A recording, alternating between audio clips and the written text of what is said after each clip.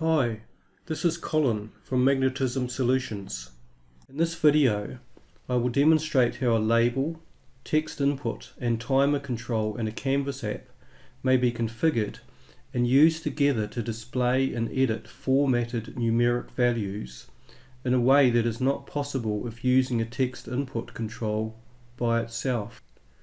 A limitation of the text input control in a Canvas app when configured using its format property to allow only number rather than text values to be entered, is that only a preceding plus or minus, the digits 0 to 9, or a decimal separator may be entered. It is also possible to include additional formatting characters, specifically one of either a preceding dollar sign or a preceding or following percent sign, and any commas. However, these additional formatting characters can only be entered after the number has first been entered, and they will only be saved if the underlying field to which the value is to be saved is a text field. If the underlying field is a currency or number field, then these additional formatting characters will not be saved. Therefore, the next time the user views the record after it has been saved, the number will be displayed without any formatting. Let's look at an example. This is an edit opportunity screen in a sample Canvas app used to add and edit opportunities.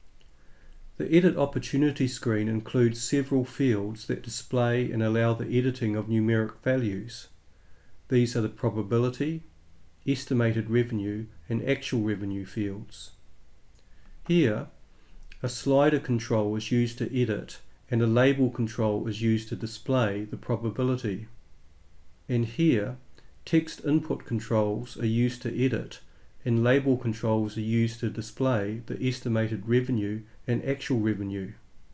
For the remainder of this demonstration, I will focus on the estimated revenue field and show why and then how a label, text input and timer control on the estimated revenue data card are configured and used to allow the editing and display of a formatted estimated revenue value. Here is the text input control for the estimated revenue. The format property for this text input control is set to number. Therefore, the control will only display and allow the entry of a preceding plus or minus, the digit 0 to 9 and a decimal separator. If the user attempts to enter any other characters into the text input control, they are automatically rejected as shown here. If the user attempts to enter any permitted numeric characters into the text input control, they are accepted. However, they are not displayed with any formatting, such as the inclusion of a dollar sign or commas. Unlike a label control, the text property of a text input control cannot be configured to display a formatted version of its value. Here is the label control for the estimated revenue. The text property of the label control is configured to display a formatted version of the value of a variable named var estimated revenue. The formatting is applied using the text function as shown here. In this example, the formatting includes a preceding dollar sign and commas. This variable is initialized by the onVisible event of the Edit Opportunity screen and is updated by the onChange event of the Estimated Revenue text input control.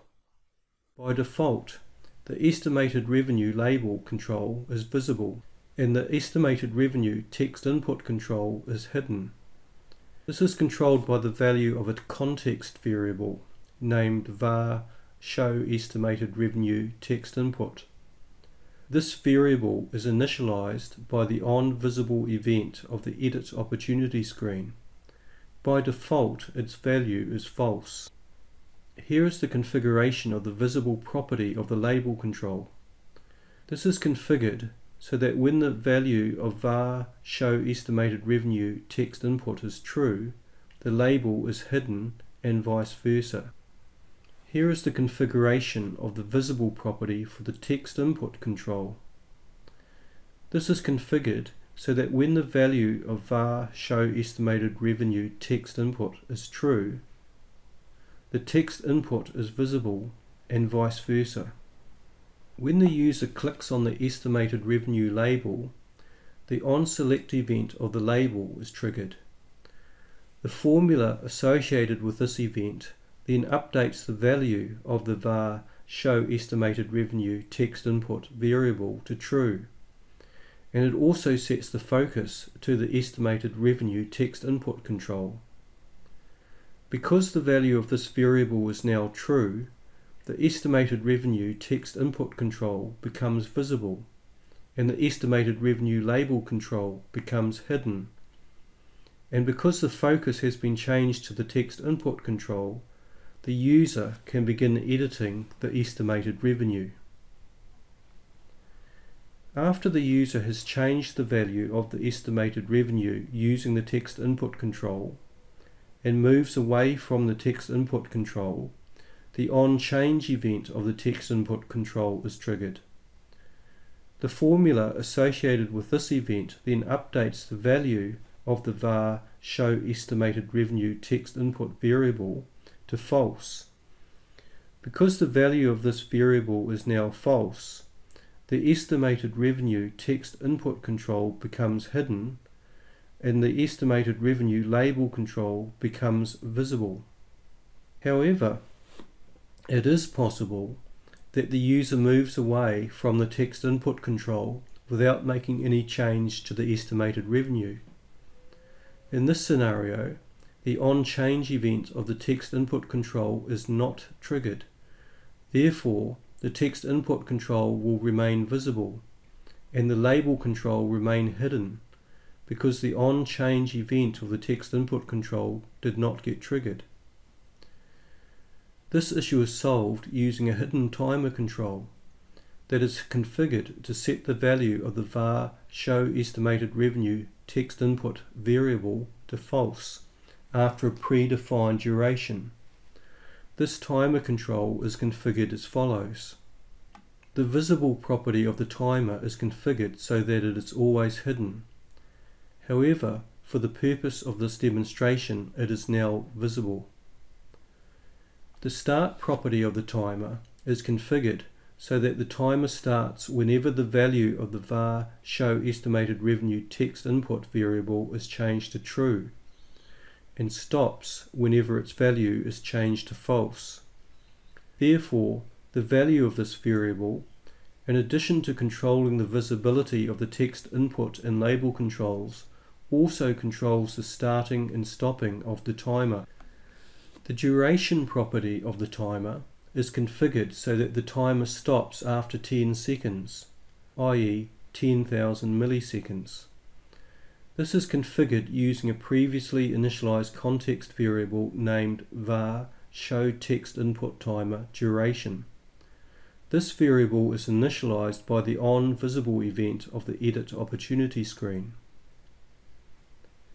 The text property of the timer is configured to display a formatted version of the time remaining rather than the time elapsed. This configuration is purely cosmetic. The on timer end event of the timer is configured to change the value of the var show estimated revenue text input variable to false when the timer stops.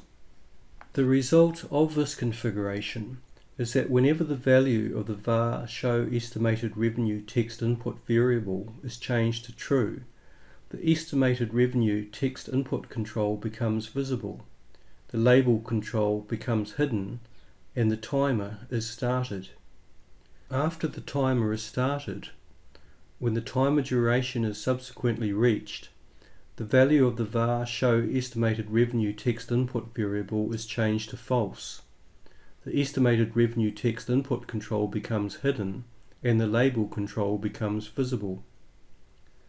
Therefore, even if the user moves away from the estimated revenue text input control without changing the estimated revenue, after the predefined duration, the text input control will become hidden and the label control will become visible.